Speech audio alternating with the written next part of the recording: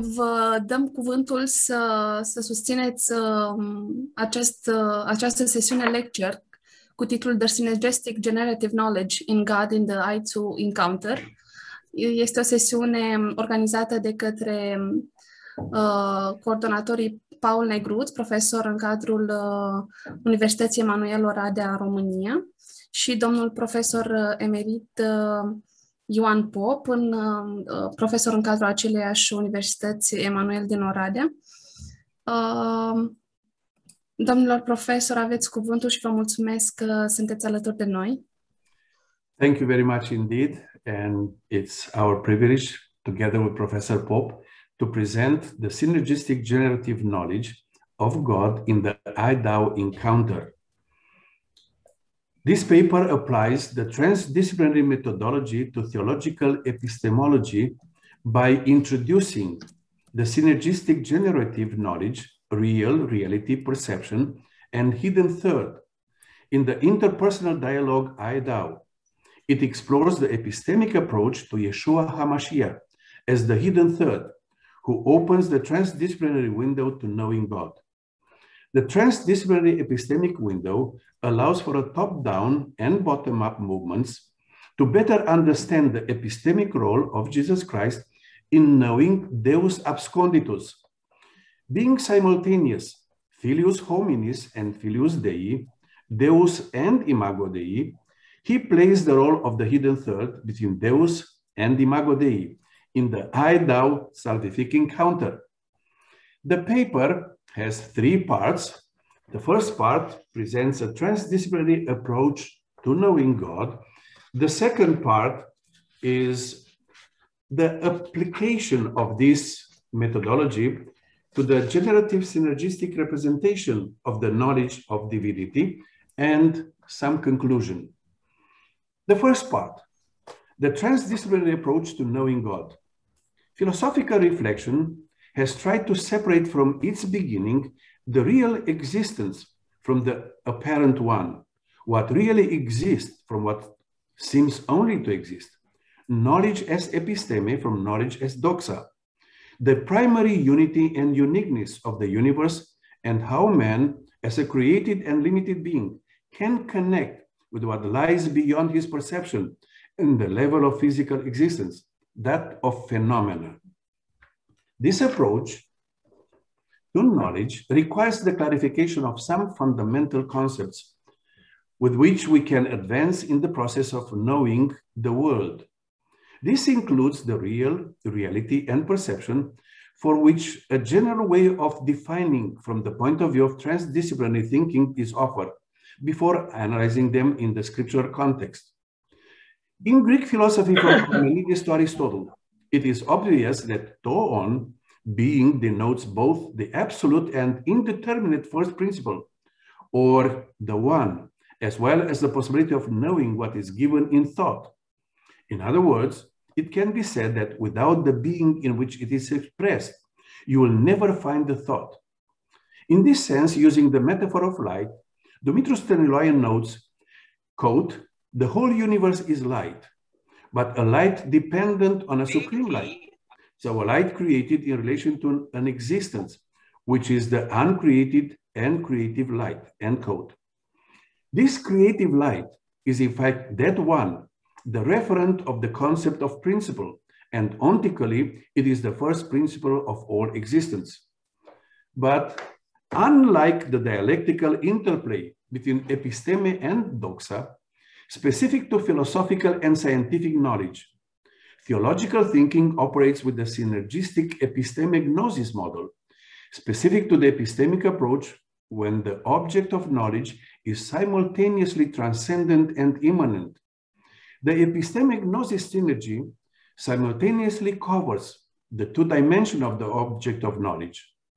The fundamental concepts with which this epistemic approach operates are Deus as the object of knowledge imago Dei as the subject of knowledge, and epistemic gnosis as way of knowledge. This epistemic approach starts from three basic assumptions.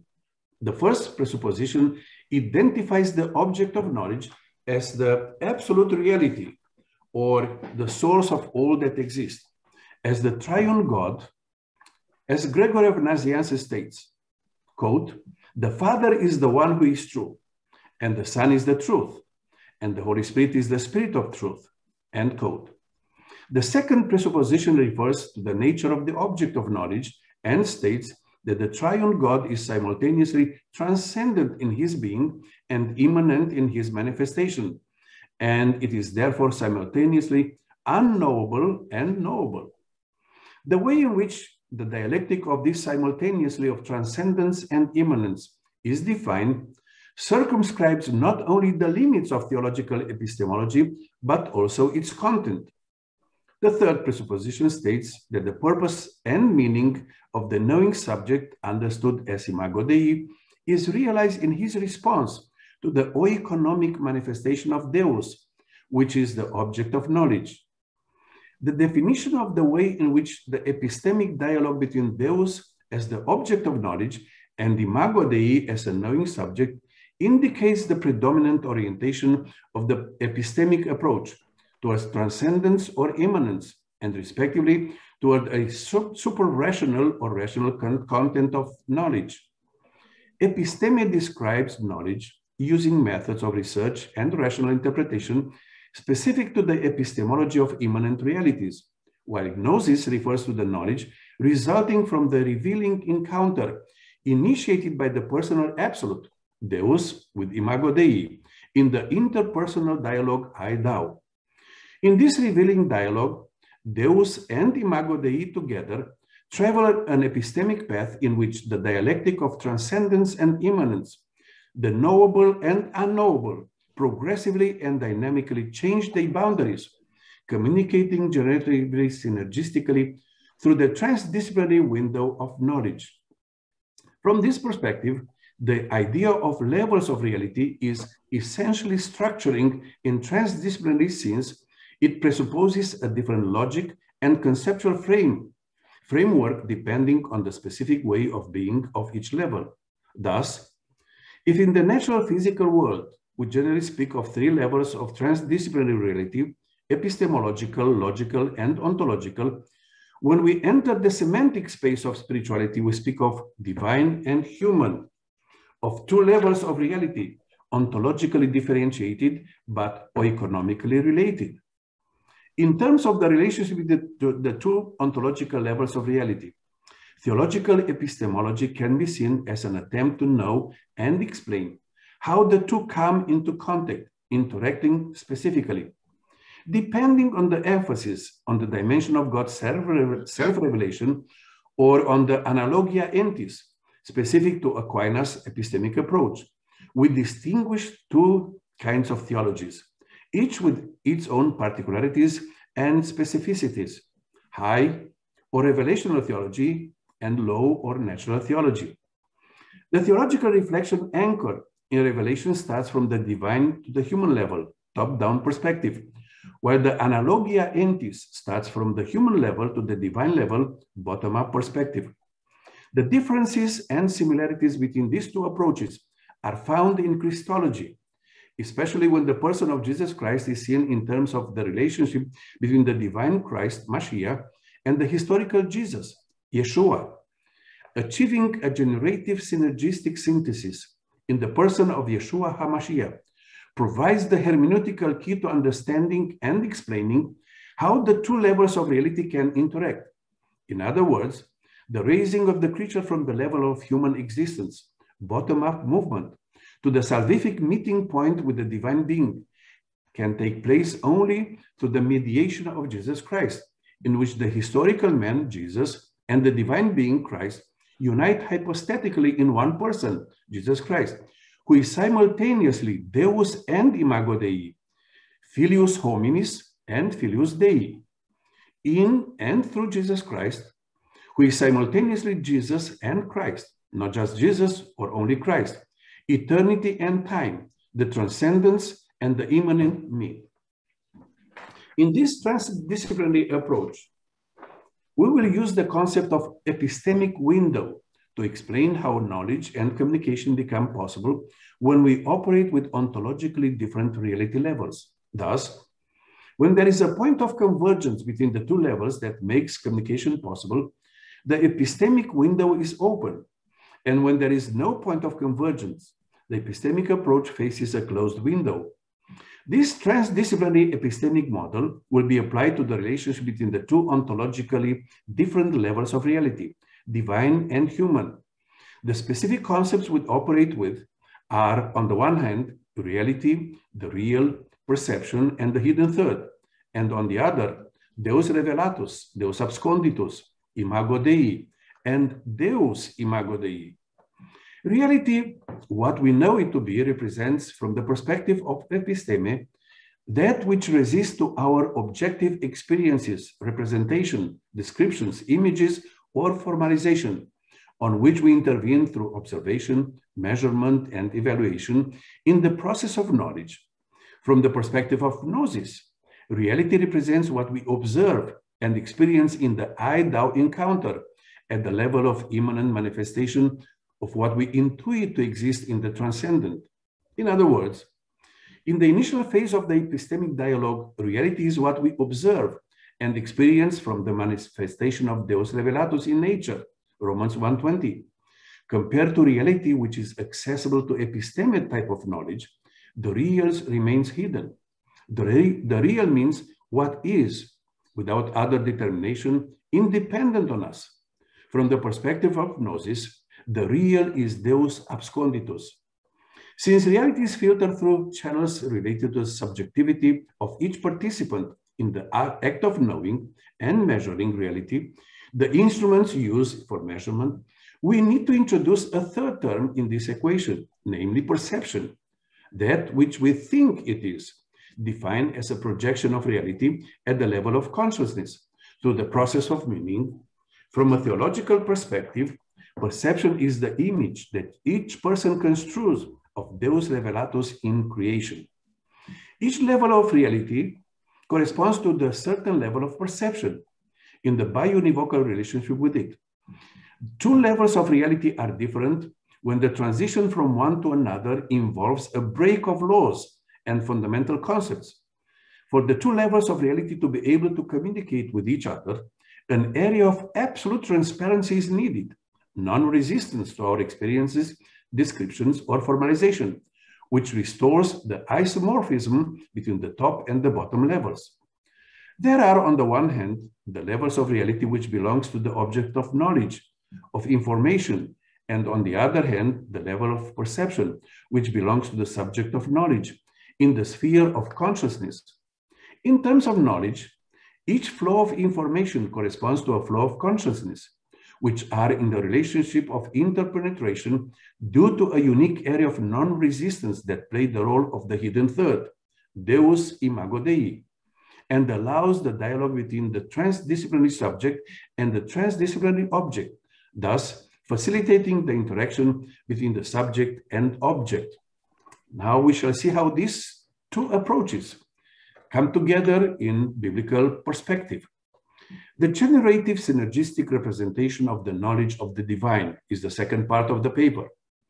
One of the best known texts of scripture that presents the point of convergence of the divine and human level is Exodus 3.14, where Deus initiates an epistemic dialogue with Imago Dei through the mediation of a fire. Moses observes that the burning fire has different properties from the ordinary fire and responds in an epistemic approach to this different reality. Surprising is the fact that not only Moses is heading toward what is visible in this reality, but also the reality addresses him by pronouncing his name, Moses, Moses. If the initial phase of this epistemic dialogue takes the form I, it, from this moment on, the epistemic approach takes the form of a propositional dialogue, I, thou, in which reality presents itself as Deus revelatus, known to Abraham, Isaac, and Jacob, the ancestors of Moses. And the legitimate attempt of Imago Dei to know more about this Deus revelatus, the episteme is confronted with a barrier that cannot be crossed over unilaterally. Thus, at Moses' request to know his name, he received an answer that in Hebrew takes the form of the tetragram, Yahweh, a name that the Jews do not pronounce for fear of pronouncing God's name in vain, replacing it with other names that describe certain faceted representation of the divinity, such as Adonai, Elohim, El Shaddai. In writing, the tetragram Yahweh is a name, a representation behind, behind which the real is glimpsed, Deus absconditus, the one who in Greek, Greek is described as ego eimi ho on, I am the one who is, a translation that expresses more suggestively the invitation to knowledge of the one who is simultaneously Deus revelatus and Deus absconditus than the translation, I am the one who I am. The epistemic dialogue Deus imago Dei reaches a higher qualitative level during the encounter in Exodus 33, 12 to 23, where Moses requests an extension of the knowledge of God through the possibility of contemplating his glory. In other words, Imago Dei tries to expand the scope of the epistemic dialogue with Deus Revelatus in the sense of knowing even deeper aspects of Deus Absconditus. The I-Thou dialogue unfolded in this demonstrates the existence, the existence of an epistemic progress from the direction of Deus Revelatus towards, towards Deus Absconditus, with the mention that Imago Dei cannot unilaterally exceed the imposed limit. In this simultaneity, the presence of Deus Revelatus, Deus Absconditus, Imago Dei is really in the presence of God, even if the revelation is partial and manifested, manifested through certain facets of the divine being. The description of the encounter between Deus and Imago Dei in Exodus 33 emphasizes that his epistemic sphere expands as the I-Thou dialogue opens the window to new manifestation of the real, such as all my beauty and the name of the Lord before you. However, in Exodus 33, 23, Deus Revelatus states that the face of God, that is what he really is, Deus absconditus, can only be partially seen, a glimpse from behind. The I-Thou dialogue in which episteme and gnosis end up in front of a barrier that separates seemingly, seemingly irreconcilable the two levels of reality, divine and human, Deus and Imago Dei, requires a hidden third, to open the epistemic window to create an area of non-resistance accessibility between the two levels of reality, divine and human. In this sense, the statement, no one, no one has ever seen God, the only begotten Son, which is in the bosom of the Father, he has made him known, John 1.18, provides an epistemic clue to the possibility of establishing the relationship between the hidden third and Jesus Christ. To make the connection between these two levels of reality, the hidden third must be simultaneously Deus and Imago Dei. As a matter of fact, the hidden third appears as a hermeneutic window in the text of the Gospels when Yeshua HaMashiach asked the disciples what the perception of the people from far circle about his identity is. Who do people say that I, the Son of Man, am? Matthew 16, 13. The disciples' response reveals a major difference between the levels of reality and those of perception in the circle of those who look at Yeshua HaMashiach from far away. Some say you are John the Baptist, other Elijah, other Jeremiah or one of the prophets. In other words, from a distance, Yeshua HaMashiach is perceived only as filius hominis or imago hominis. In the apostolic group, however, the perception of the identity of Yeshua HaMashiach is significantly different. You are the Christ, the Son of the living God, Matthew 16, 16. The level of reality that Peter perceived captures beyond the human, the divine dimension, Filius Dei.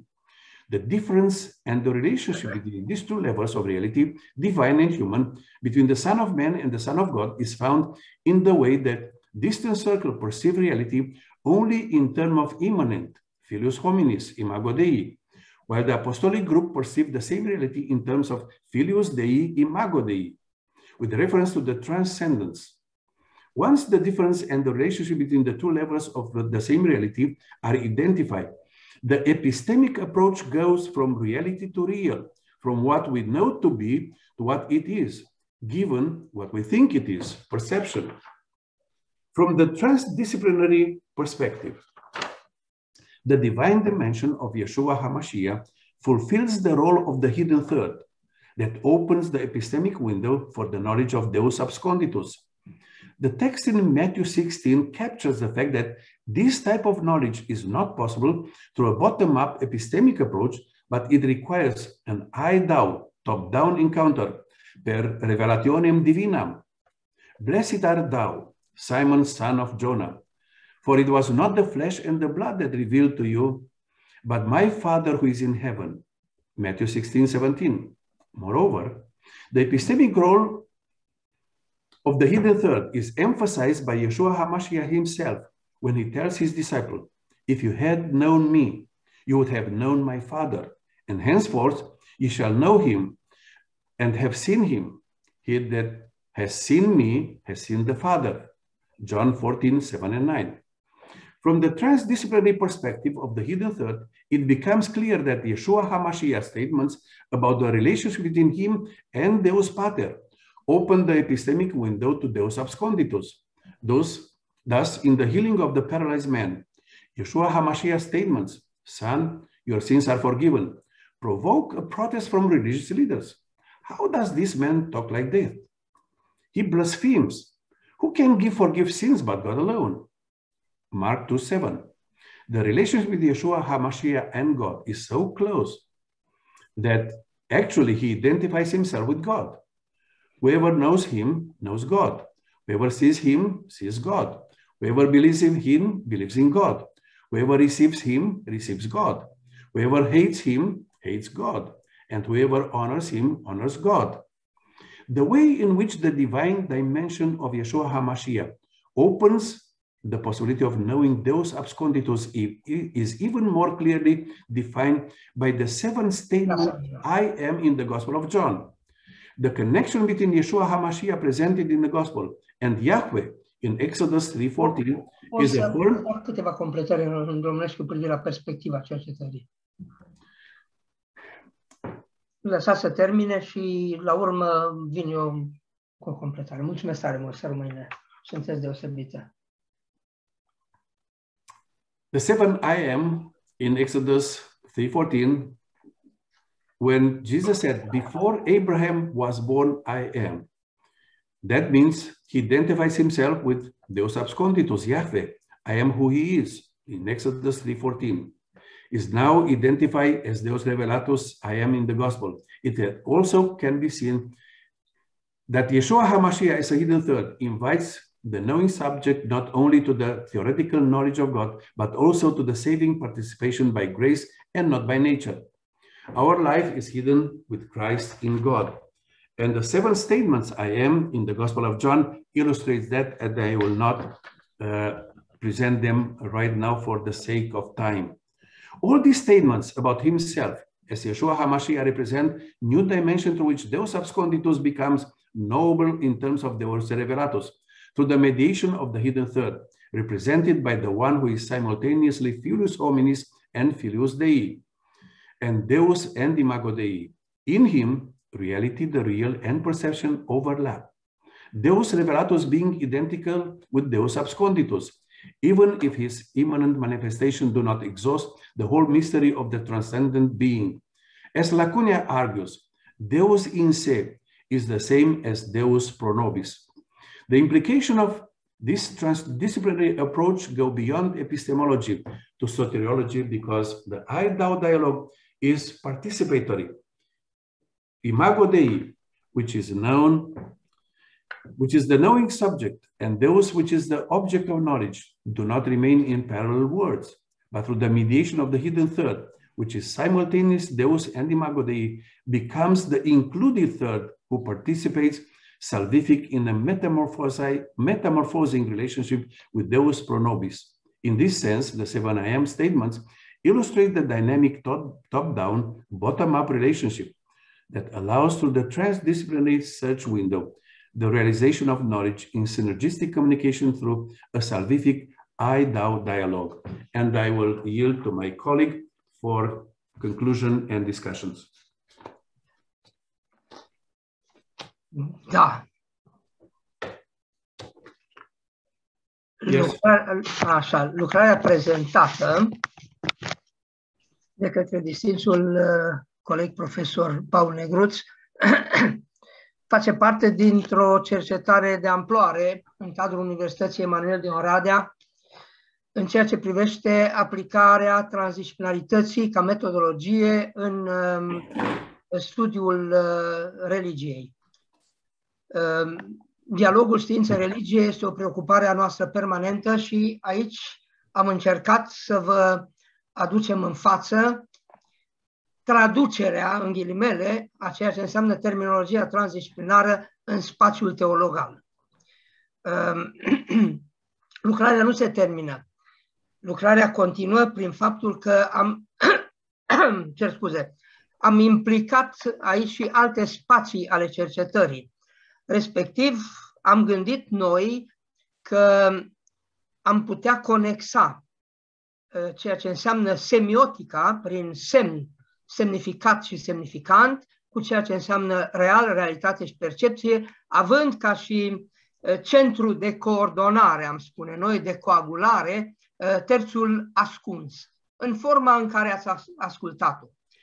Um, spunem noi că este binevenită această abordare, pentru că nu putem uh, aborda cunoașterea în um, totalitatea ei fără a ști cum lucrează în paralel știința și respectiv uh, religia, credința, convingerea. Ceea ce este de remarcat în uh, textul citit de distinsul profesor, uh, ca o notă de subsol pe care am introdus-o aici, uh, este următoarea. Transdisciplinaritatea și înveșnicirea prin comuniune sau sustenabilitatea integrării spirituale superioare se realizează în condițiile în care râurile de apă vie, care și-au izvorul într-o inimă curățită, duci în veșnicii, fapt realizabil doar după ce zidurile și barierele nepriceperii, a nevredniciei, a inadecvării sunt penetrate uh, pentru a cădea până la urmă, favorizând astfel cunoașterea de Dumnezeu în, plină, în toată plinătatea sa. Aceasta este sinteza, într-un fel, a ceea ce uh, s-a prezentat aici, necesitatea unei cunoașteri în, uh, în plenitudinea uh, existențială în care suntem. Ehm, ar fi multe, multe de spus eh, și sperăm ca într-o întâlnire viitoare să putem să vă prezentăm și alte materiale care să vină să facă rotundul acestui eh, mod de a gândi ehm, transdisciplinaritatea ca metodologie și în același timp eh, celelalte abordări, printre care și semiofizica de care m-am ocupat personal și care este o sinteză transdisciplinară a fizicii fenomenologice, a uh, semioticii și a eticii. Uh, și e un, un câmp de, de dezvoltare pe care Universitatea Emanuel uh, îl are în vedere, în perspectivă. Vă mulțumim mult pentru găzduirea acestei conferințe și dorim succes în continuare lucrărilor um, acestei conferințe. Uh, thank you for your intervention. I was speaking in English uh, because um, the previous speaker was uh, speaking in English. Thank you for your intervention, for your lecture. We give special thanks to the representatives of Emanuel University from Oradea. Um, as you already discovered, the speakers uh, of this session was Professor PhD Paul Negruț uh, PhD in philosophy and PhD in political administration, together with Emeritus Professor Dr. Uh, Ioan uh, Pop, PhD in physics and uh, PhD in engineering uh, sciences. If there, there are questions, commentaries, um, ideas that uh, you would like to share with us, please enjoy this session and manifest your ideas. Thank you. în primul rând, dacă îmi permiteți, profit de această ocazie să-l salut pe domnul profesor Pop, pe, cu care ne-am întâlnit în mai multe ocazii. Domnul profesor Negruț este prima dată când întâlnesc cu domnia sa și... L-am luat cu mine! și îl salut și pe domnia sa această primă întâlnire și sperăm nu ultima întâlnire, cel puțin cu domnul profesor Pop și iată și cu domnul profesor Negru suntem legați de această pasiune pentru transdisciplinaritate și pasiunea pentru transdisciplinaritate aplicată inclusiv relației dintre ființa umană și transcendență. Pentru că e foarte important pentru unii cel puțin să reușească să înțeleagă uh, cum anume, uh, cum anume funcționează sau poate funcționa o relație dintre o ființă creată, dintre om și creatorul său, dintre uh, o ființă care este uh, cumva limitată prin însăși uh, natura sa și absolutul uh, nelimitat și am uh, remarcat aici o idee care uh, pe mine mă preocupă de foarte multă vreme. Uh, am remarcat acea idee cum că absolutul transcendent, formulez în termenii mei, sigur nu în termenii teologali pe care îi meșteșug, meșteșug, cu mult mai mult meșteșug decât mine îi poate utiliza domnul profesor Negruț. Eu nu sunt teolog și ca tare am mai puțină experiență în a folosi limbajul teologal, Uh, eu sunt mai degrabă legat de limbajul filozofic. Uh, spuneam, uh, modul în care domnia sa spune că acel teos care este transcendent este același cu cel imanent. Și nu pot să nu-mi amintesc, un, o, fără să par politic, nepoliticos, să nu fac o, o legătură cu uh, budismul, de exemplu, cu cel tibetan, că la un moment dat, la un anumit nivel, ei ne spun că nirvana sau absolutul, așa cum este conceput de ei, este aceeași cu, cu samsara, cu ceea ce noi trăim. Și că doar poziția noastră perceptuală ne face să fim în nirvana sau în, uh, sau în samsara și că uh, cumva e o problemă de uh, comunicare cu de comunicare ființială între, sigur, uh, între substanțe. În budism nu e vorba de, uh, de o entitate divină. Uh, întrebarea mea este, putem să, să considerăm că aceasta este o semioză valabilă nu doar religi, în religiile creștine, ci o semioză valabilă în orice uh, tradiție care încearcă într-o formă sau alta să, uh, să explice și să explice Uh, posibilitatea comunicării cu, cu un transcendent oarecare? Cum majoritatea religiilor lumii sunt în căutarea transcendentului și caută acea fereastră epistemică, așa am numit-o noi, uh, acea fereastră care deschide orizontul înspre ceea ce este dincolo. În abordarea noastră și specific creștinismului este acest terț ascuns, este uh, acel Yeshua Hamashia sau Isus Hristos, care este simultan transcendent și imanent. Și este acea fereastră epistemică care deschide spațiu non-rezistent la cunoaștere. Este filius hominis și este filius dei. Este în aceeași ființă, ipostatic. De aceea, această fereastră epistemică Uh, permite transdisciplinarea, uh, această conexie între ceea ce este vizibil și invizibil, între ceea ce este limitat și nelimitat. Pentru că întruparea lui Isus Hristos a făcut posibilă uh, trecerea dintr-un nivel de realitate în alt nivel de realitate într-un mod nerezistent. Nu este o fereastră epistemică întunecată. De aceea am pornit pe această uh, uh, linie epistemică să vedem în ce măsură Deus absconditus și Deus revelatus uh, ne oferă o fereastră ca să putem face legătura între ele. Mulțumesc!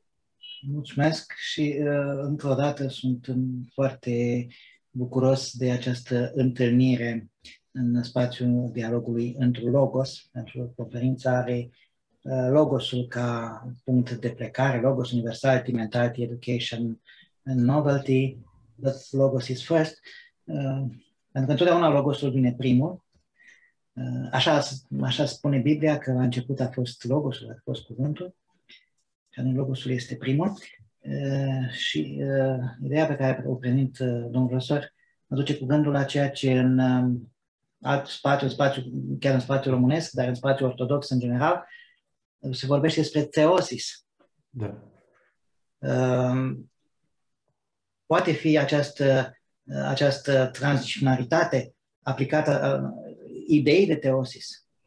În mod cert, deci uh, ideea îndumnezeirii și în special uh, în Universitatea Emanuel am acordat o atenție deosebită teologiei Părintelui Dumitru Stăniloae, în care materia, universul, este transfigurat prin ceea ce a însemnat întruparea lui Hristos, uh, când Logosul a, a îmbrăcat uh, natura noastră. Natura noastră este nu o participare într-o realitate paralelă, ci într-o participare transfigurată.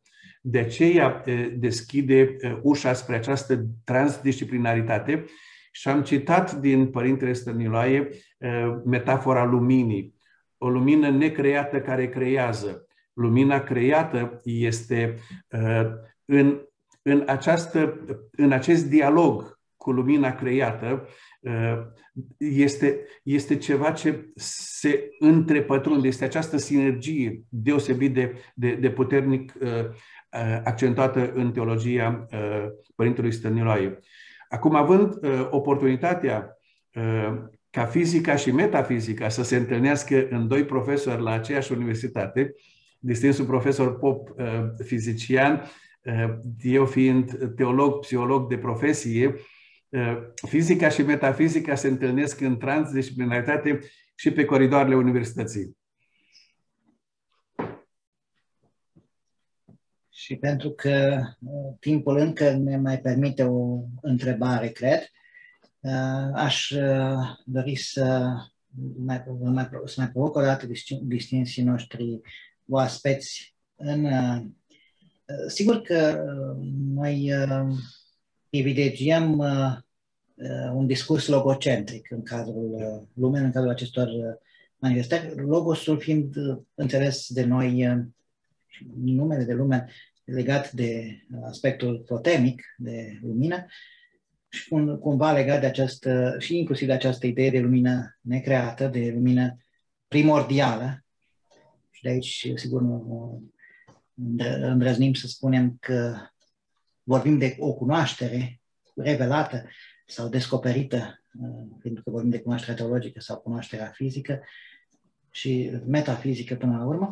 Și spuneam uh, o, o ultimă întrebare de timp și de răspuns cum vedeți uh, dumneavoastră acest, acest uh, terț, acest terț ascuns, ascuns.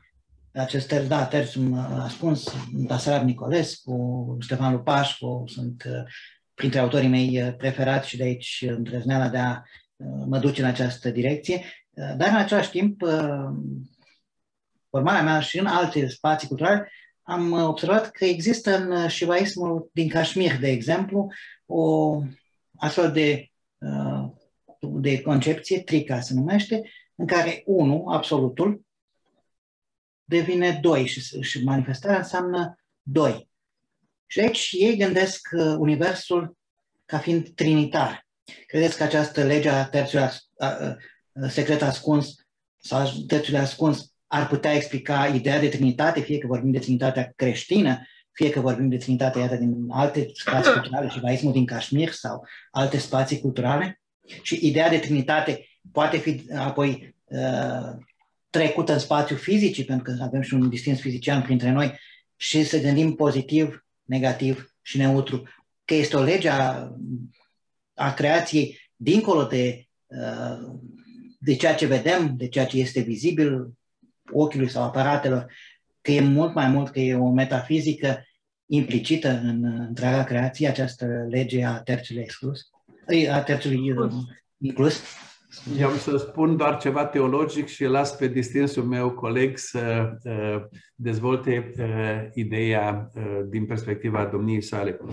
Uh, limbajul uh, dimensiunilor uh, sau limbajul tridimensional se regăsește mult uh, și în uh, alte religii și în alte gândiri filozofice.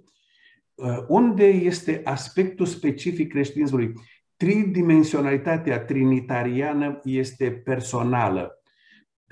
Vorbim despre o trinitate interpersonală, o comuniune a persoanelor, nu o comuniune a unor forțe impersonale. Și aici terțul ascuns în creștinism este Hristosul kenotic, cel care s-a dezbrăcat pe sine de prerogativele divine și a îmbrăcat trup omenesc. Este prezentarea Apostolului Pavel în epistola către Filipeni. Această chenoză cristică l-a făcut un terț ascuns. Oamenii s-au uitat la el și la o privire superficială n-au văzut decât filius hominis. La o privire mai atentă, uh, au văzut că este o fereastră spre ceva dincolo. Uh, de aceea, Trinitatea creștină față de alt limbaj trinitarian are această dimensiune a comuniunii interpersonale. Îl las acum pe profesorul Pop să meargă spre Basarab Nicolescu și spre ceilalți uh, dascări ai transdisciplinarității. Problema majoră în acest caz este ceea ce n-am, n-am făcut nici eu specificația și nici textul probabil că nu face uh, în mod specific, este relația dintre terțul ascuns și terțul inclus.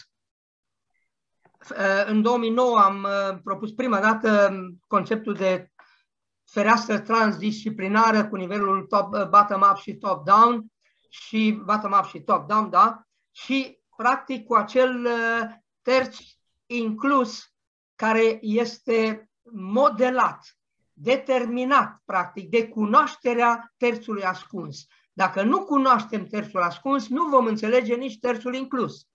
Atunci nu vom înțelege ce înseamnă uh, Hristos uh, și Isus, Isus ca persoană istorică și Hristos ca și izbăvitor, mântuitor. Deci numai în acest fel putem. Și atunci ieșim, cum spunea distinsul profesor, ieșim la suprafață. Vedem nu în chip întunecos, ci în chip deslușit. Vedem exact ceea ce înseamnă uh, această rânduială a fizicii ridicată la uh, statut de reprezentare uh, metafizică. Eu mulțumesc uh, și n-ar vrea să monopolizăm discuțiile, aș vrea dacă mai sunt și alți uh, doritor de a uh, profita de prezența distinșilor invitați și a formula întrebări.